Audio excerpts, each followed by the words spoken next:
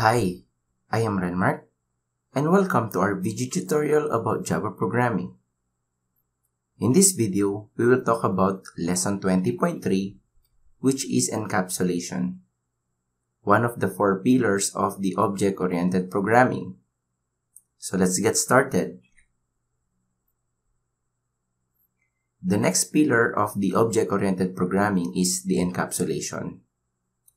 To give you a bird's eye view kung anong ibig sabihin ng encapsulation, take a look at this photo. This photo depicts a capsule na may lamang powder na gamot sa loob.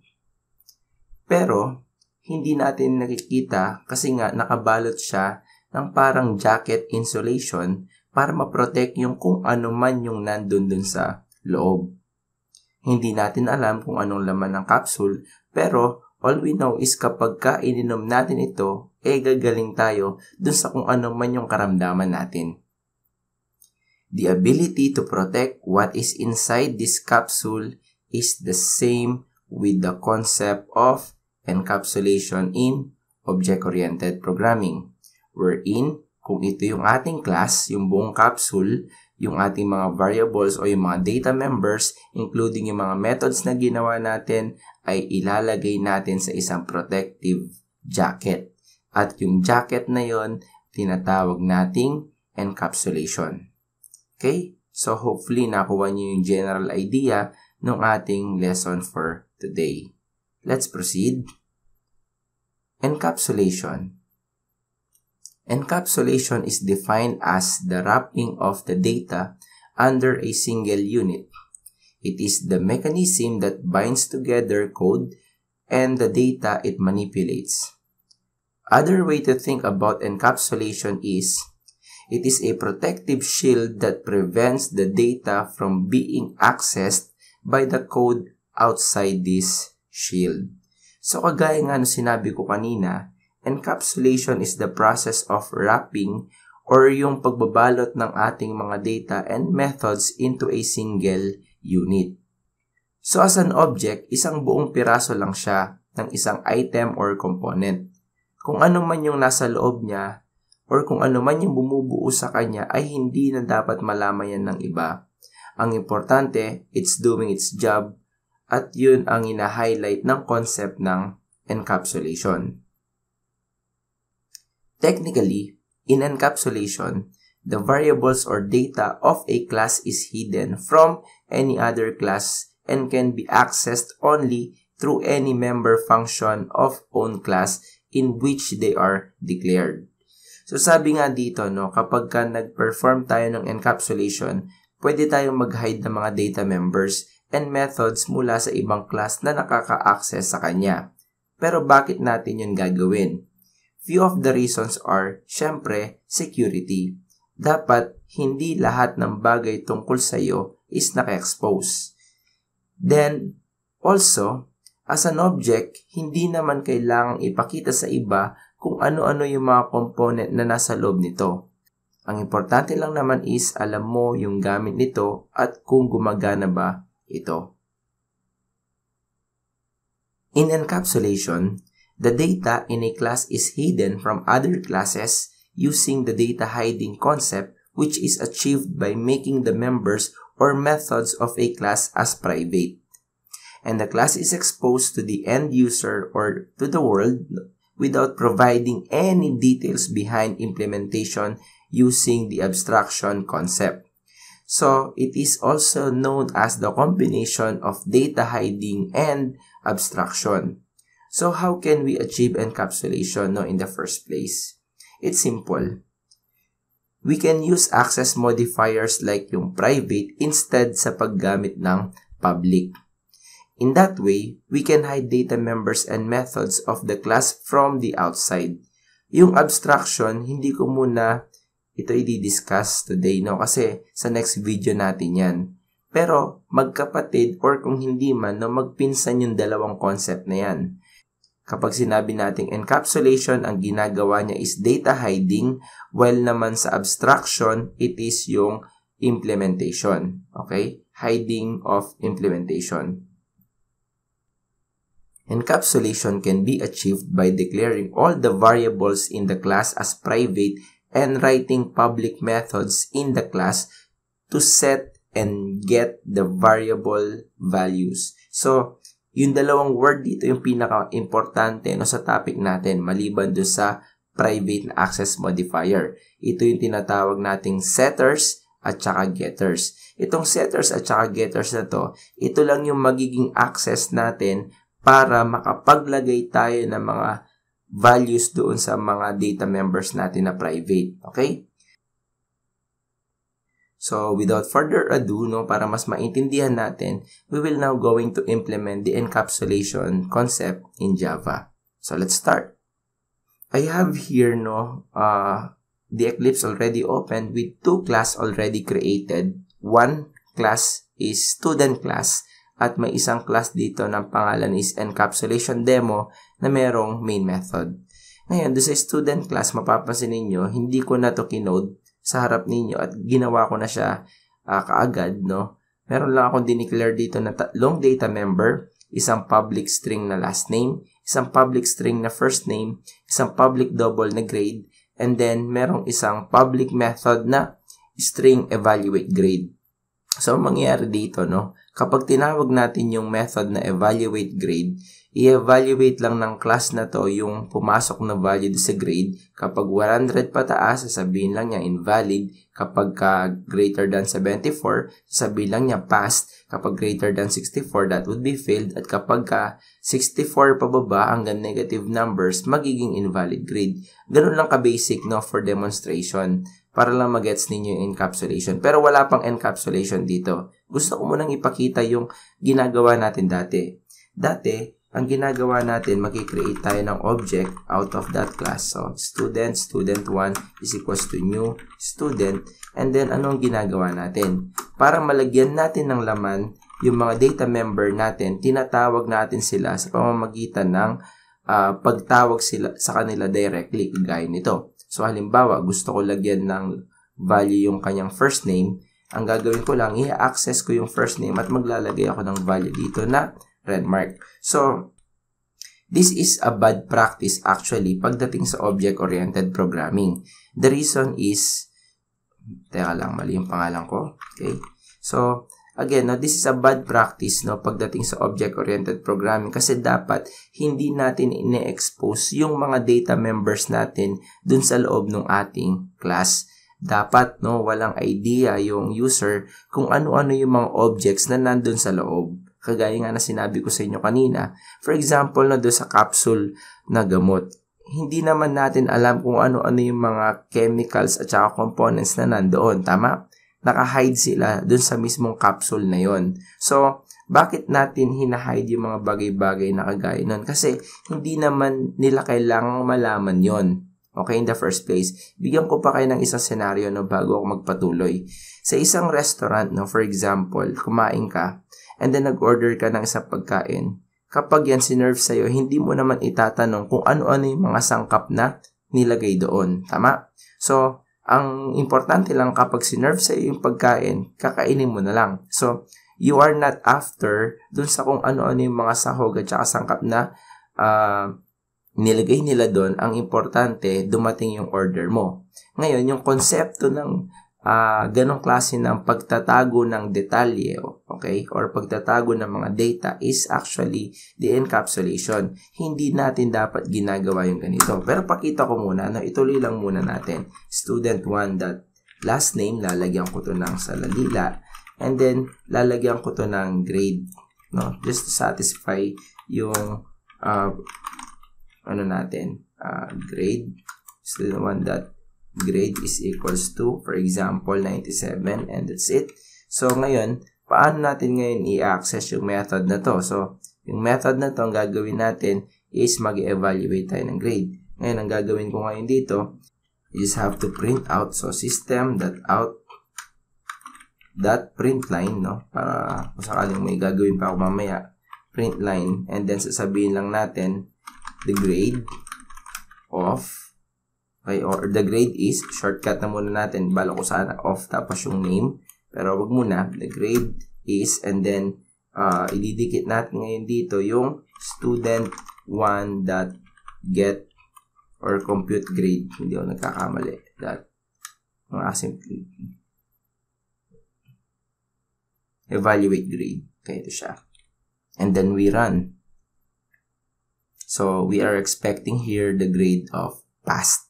Okay? So, ganito natin ginagawa yan before. So, again, no, sinabi ko sa inyo na this is a bad practice. Again, for the, il- hindi ko alam kung ilang time na, hindi natin dapat ine-expose do sa mga users yung mga data members natin. Dapat hindi nila alam kung ano-ano yung mga yan. So, ano yung solusyon? Kailangan natin, no, from public, i-convert natin silang lahat into private. So, ngayon, ipa-private natin lahat yan. Okay?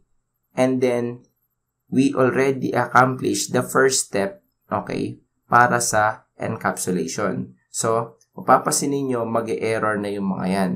Nag-error sila. Bakit? Kasi, since ginawa kong private yung mga data member ko, kapag tinype ko yung student1 na object, wala kayong makikita dyan ng mga data member. Again, no, bilang user, hindi mo kailangang malaman kung sino-sino yung mga data member na available. Okay? So, tulad niyan, nagtago na sila. So, tapos na yung first step doon sa ating uh, encapsulation. Ngayon, ang tanong, since tinago mo ngayon sila mula doon sa labas, okay, by the way, yung sinasabi niya kanina, kapag ginawa mo private yan, magagamit mo na lang yung mga data member mo doon sa loob ng mismong class pero hindi sila pwedeng lumabas. Okay? Parang si Kim Cho lang yan, no? Sa classroom may batas. Bawal lumabas. Okay? Siguro naka-private si Kim Cho, no? Anyways, uh, again, no? Naka-set na to ng private kaya hindi sila makikita dun sa labas.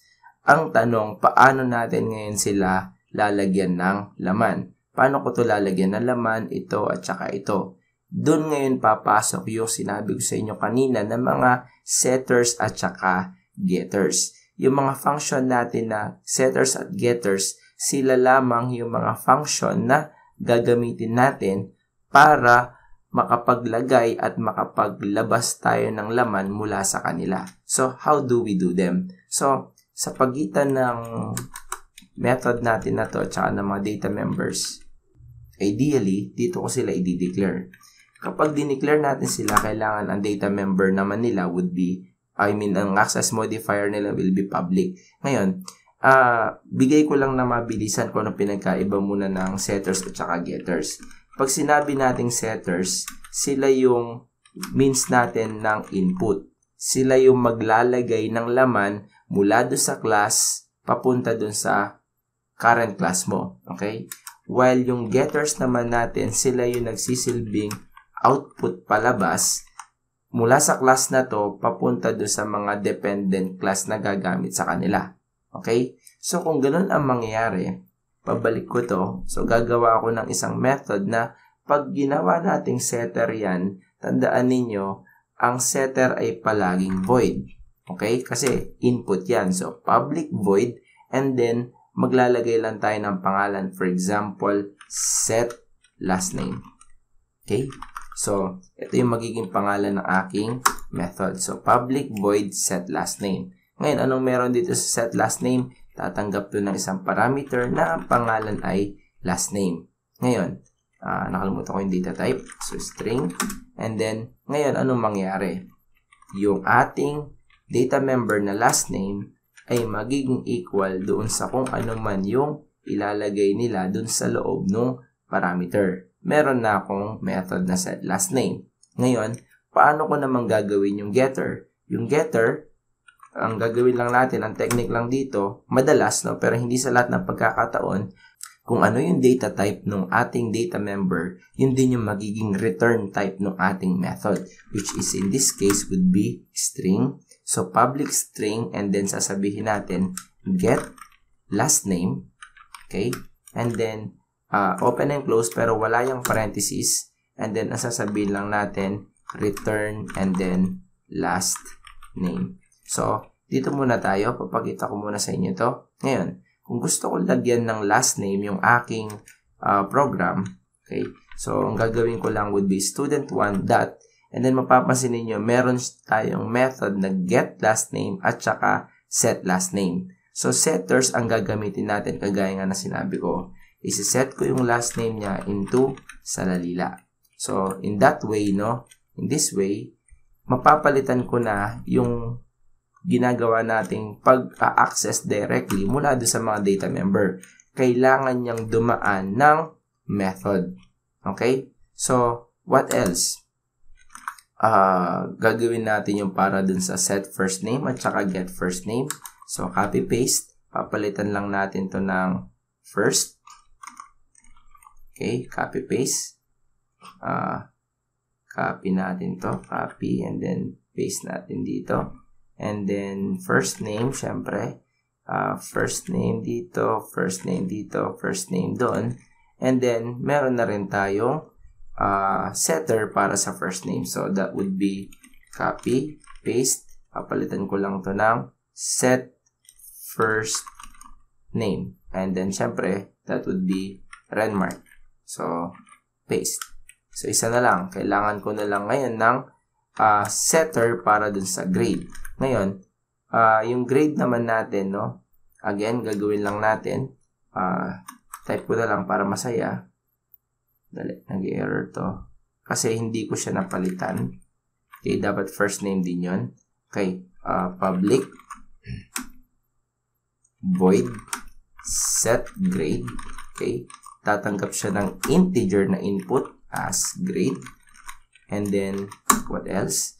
Uh, this dot grade, yung data member magiging equal din sa value na in-input dun sa parameter. So, next, public integer. Oh, integer ba yung ginamit ko dito?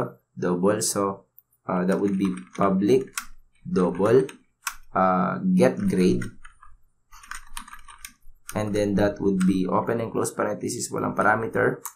And then return, tapos grade. And that's it. So, uh, we already created the basis uh, of the encapsulation. So, nakapag-encapsulation na tayo dito. Imbis na gagamitin ko itong student.grade is equals to 97, gagamit ako ng method. Nagtataka lang ako bakit nag-error to. Uh, hanapin ko lang dito sa kabila. Set last name, get last name. Set first name, then get first name. Anong issue mo? Wait lang. Okay lang yan. Student 1 dot uh, set grade and then the grade would be 95. Okay? So, na lang talaga.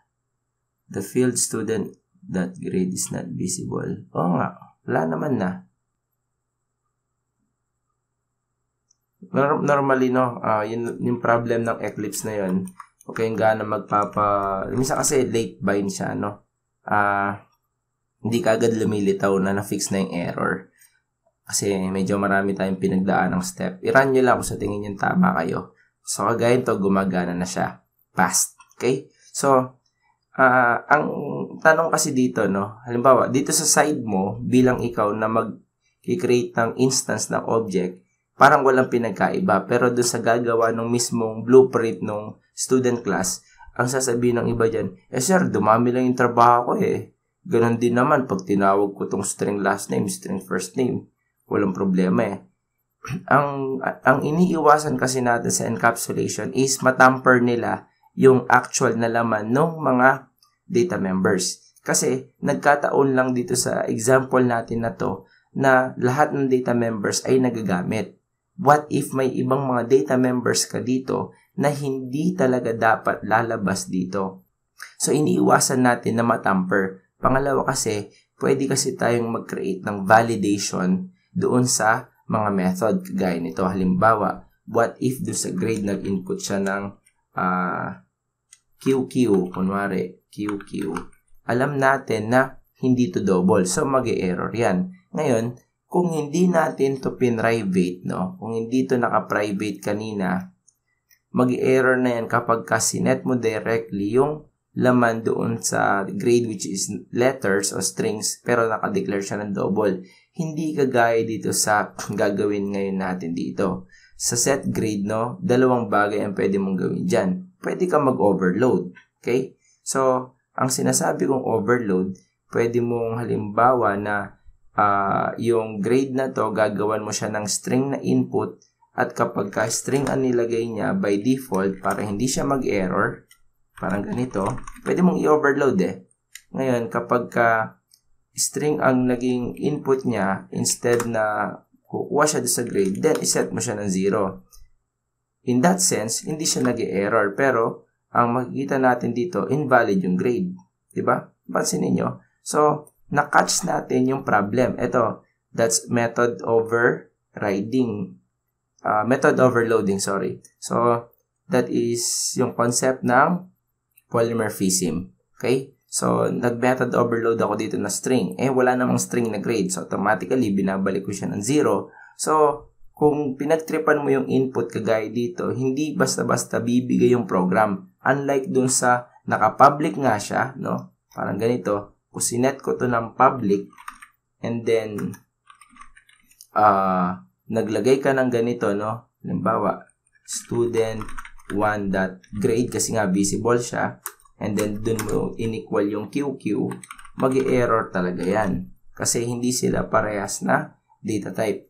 Hindi kagaya dun sa gumamit tayo ng method. Kasi kapag gumamit tayo ng method, gaya nga na sinabi ko sa inyo, we have the full control kung ano-ano yung mga pwede nating gawin do sa loob.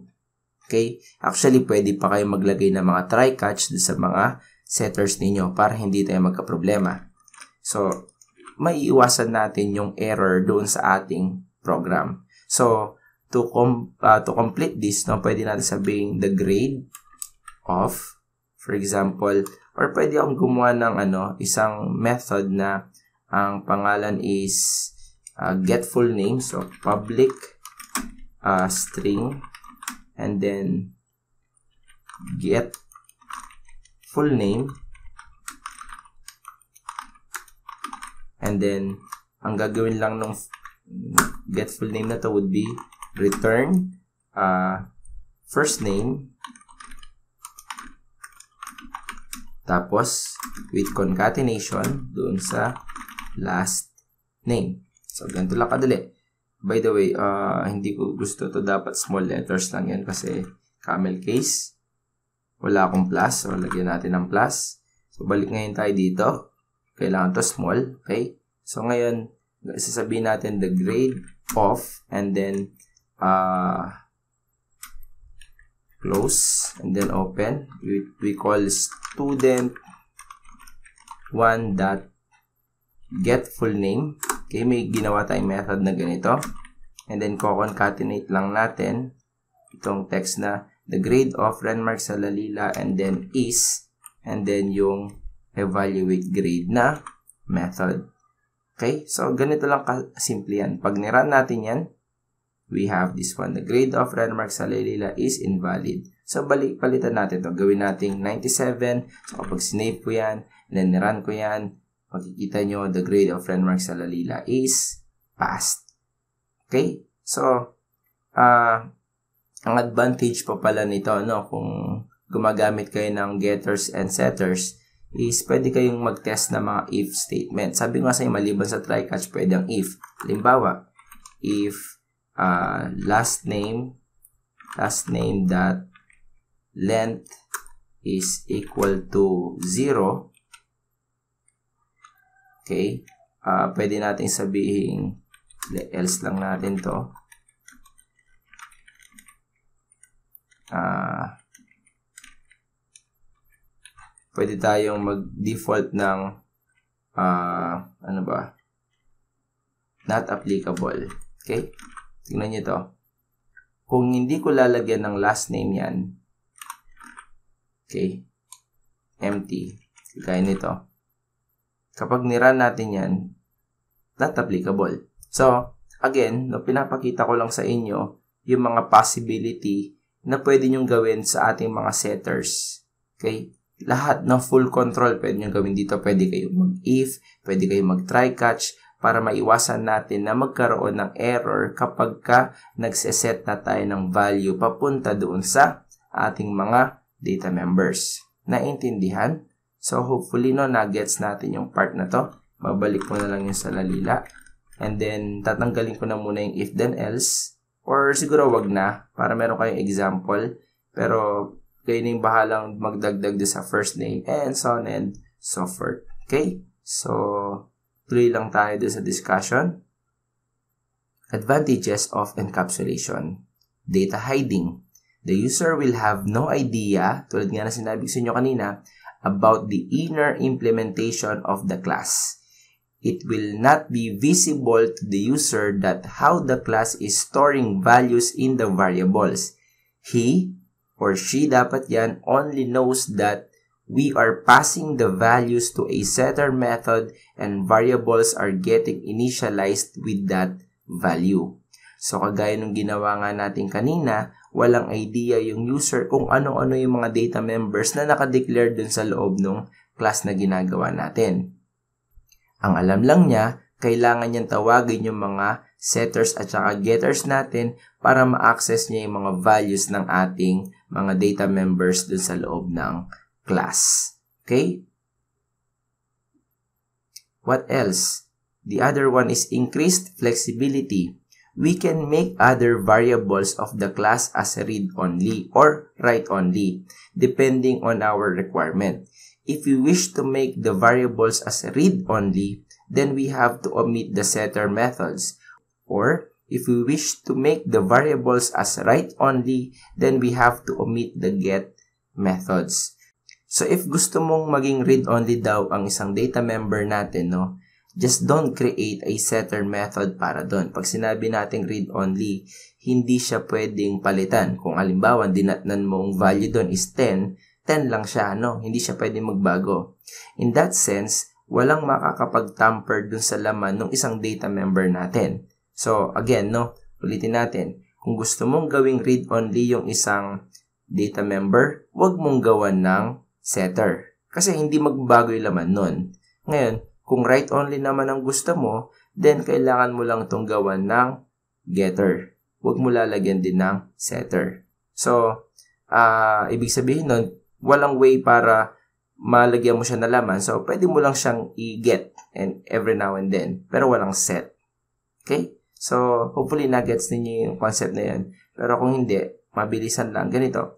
Halimbawa, meron tayong isang method na private uh, alive o public boolean is alive. And then ang default value nito would be equal sa true okay? Ayaw naman nating patayin yung estudyante no? Ayaw nating mamatay siya. So wala tayong gagawing setter. Pero pwede tayong gumawa dito ng getter. So ang mangyari diyan uh, dito ngayon sa ilalim dito imbis na gagawa ko ng set ang gagawin ko lang dito, public uh, do public boolean and then get student status. Okay? So, and then, i-return lang natin yung variable na is, actually, pangit yung is alive. Gawin na lang natin uh, is enrolled. Ayan. Is enrolled. So, pwede natin ngayon itong i-return is enrolled. Ang mangyayari ngayon dito, yung ating uh, data member na is enrolled, read-only lang yan. Bakit? Kasi pagdating mo dito, okay, sa student 1 dot, wala ka namang get, wala ka namang set dito eh, ng uh, is enrolled. Wala kang way. Pero pwede mong tawagin no, kung get enrolled ba siya. So, get student status and then uh, ang gagawin lang natin dyan, syempre, i-print out natin sa system that that out that print and then and then close dito tanggal ko to the student is the student is the student still enrolled and then uh, yeah. Tapos, plus. And then, yeah. Lagay natin sa ilalim. And then, we can run this one actually. true. Pangit naman nakikita kung true lang yan. E di, ang gawin natin, maglagay tayo ng konting if then else na if is enrolled is equals to true, then return, pero magpapalit tayo ng data type. Gagawin natin itong string. Ito yung sinasabi kong hindi sa lahat ng pagkakataon, no? So, return yes. Kapag ka hindi, else, then return no. That's it. So, kapag ka niran ko to, yes. So, wala ka namang, ang ano dito, since read only siya, wala kang ibang way para maging no ito unless, no, unless meron kang isang formula, okay, may isa kang formula para ma-modify to internally. Pero hindi galing dun sa labas. Hindi mo babaguhin yung laman galing dito. Dito siya pwedeng magbago sa loob. If that happens, no, read only lang yung ating uh, data member. Okay? Hopefully, naintindihan pa rin yung part na yon. Okay, next. And then the last two uh, advantages of encapsulations are uh, reusability. Encapsulation also improves the reusability and easy to change with new requirements. So meron mang magbago uh, at magkaroon ng adjustments sa implementation code, no, hindi tayo magkakaroon ng issue kapag ka naka-encapsulation tayo. Kasi nga, magdadagdag lang tayo ng mga bagong setters at saka getters kung sakaling may mga bagong data members na kailangan. So, kung kailangan mong gawing read-only, tatanggalin mo lang yung mga setters. Very simple. So, kung ayaw mo namang ilabas, then huwag mong gawan ng getters. Ganun lang kadali. Mas madali siyang i-reuse, no? Kapag ka naka-encapsulation tayo. And lastly, no? Testing code is easy. Encapsulated code is easy to test for unit testing. So, wala pa tayo sa unit testing. Pero, when sa unit testing, it's a way, no? Especially sa industry, para matest natin yung isang particular na, for example, functionality or module or para dito, for example, yung class, para malaman natin if tama na ba yung uh, nagagawa ng isang class. Kapag ka naka-encapsulation tayo, mas madali ang unit testing kasi pwede mong ipasa yung mga values into a parameter. So, more on to that now kapag ka na-experience nyo na yan in real world. Pero, yes, uh, isa sa advantage ng encapsulation is para sa unit testing. I hope you learned something sa lesson natin ito. And that's the end of lesson 20.3. Credits to geeksforgeeks.org as the main source of the content in this tutorial. If you loved this video, kindly drop a thumbs up and subscribe. Thank you.